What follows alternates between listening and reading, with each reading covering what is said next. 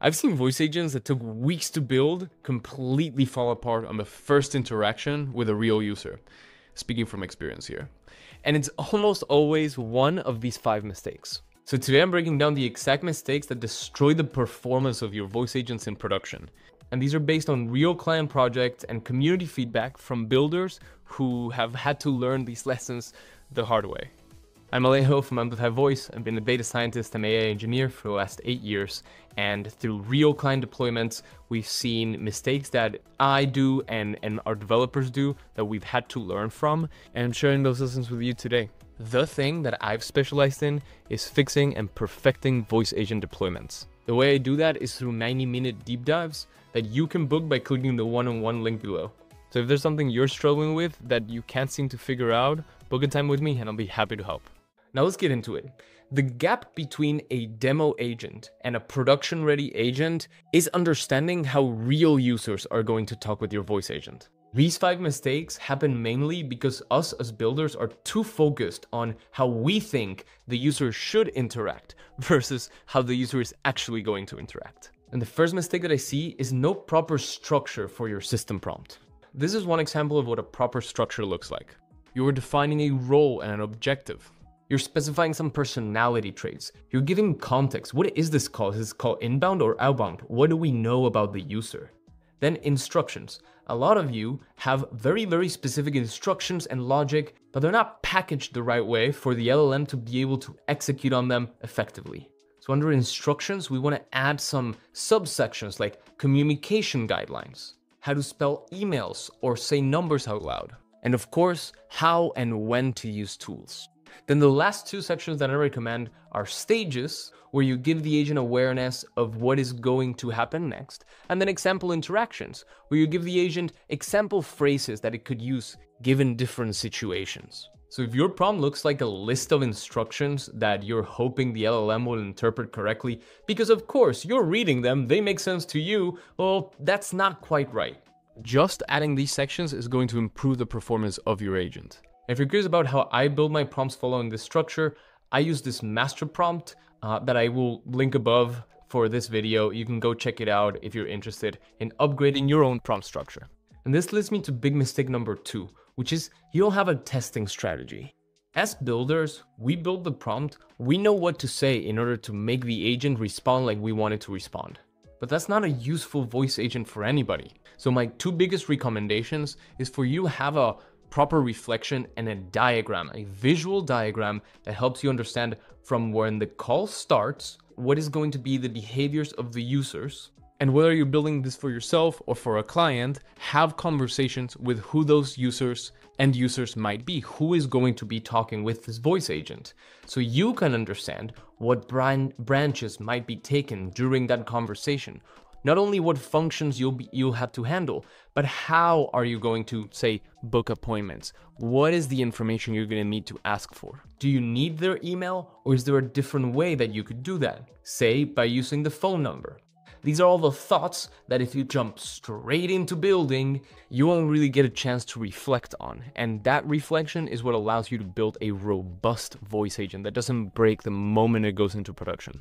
And how I recommend going about testing is having a conversation in the test chat where we're just following the flow of the conversation and then using this hidden feature, which is the debug feature in Retell.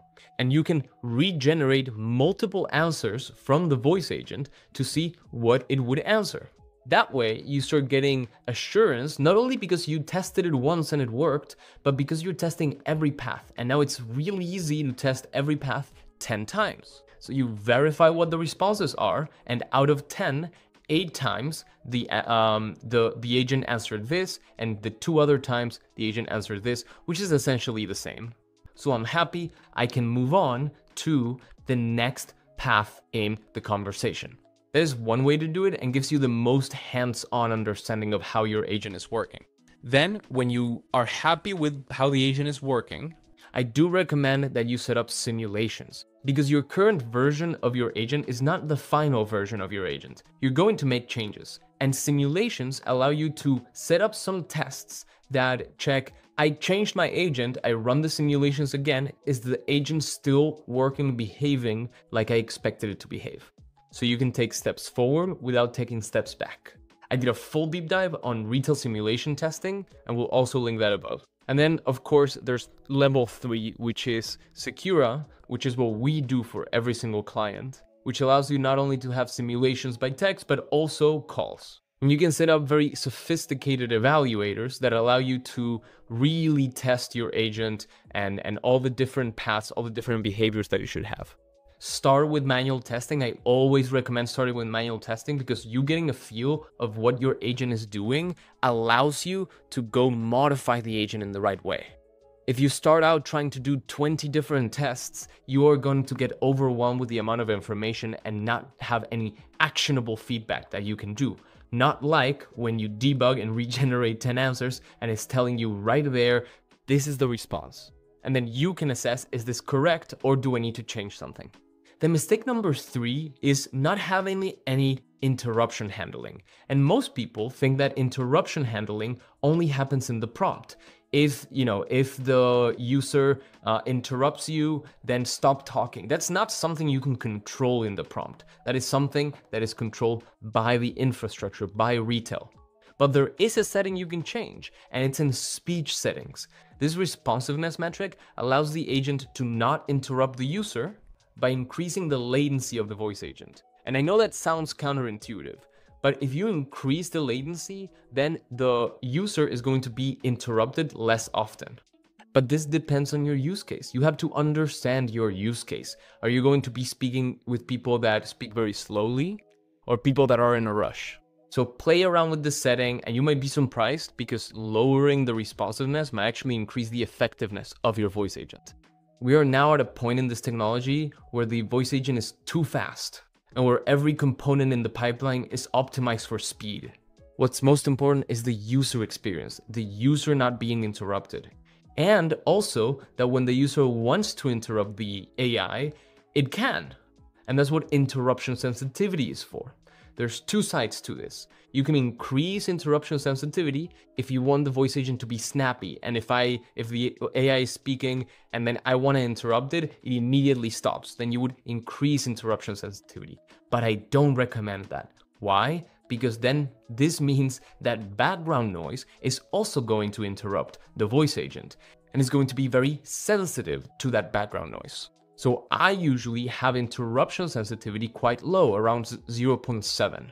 But don't just copy this, understand your use case. Who are you going to be speaking with? If it's older people that your voice agent is going to have conversations with who generally speak slower, you might ha- want to have lower responsiveness. So the AI agent doesn't butt in when the person is speaking slowly or thinking.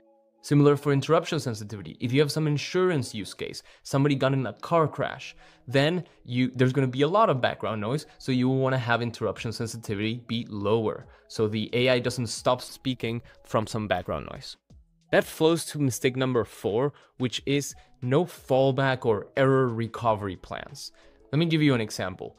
The user says something the voice agent misunderstands what the user said and what was transcribed was just gibberish. It doesn't really make sense what the user said. And the voice agent, what does it do? Well, the voice agent responds. But is that response going to be good? Well, probably not because the, the agent misunderstood what the, what the user was saying. But the mistake is not only in the transcriber. The mistake is that in your communication guidelines, you didn't add a section for how to ask for clarification when the user asks something ambiguous. Something like if the user says gibberish or something ambiguous, ask for clarification. Something as simple as this can avoid what's called catastrophic failures. Those are failures in which the quality of the user experience plummets, like calling the user the wrong name or hallucinating information. So these fallbacks depend on your use case. Are you booking appointments? Well, have you tested uh, the different paths that the user could take? Because the user could provide a time that works for them or ask for a time that works for us. Are you handling both of those situations? Or are you being so strict with your instruction that there's only one path that the user can follow?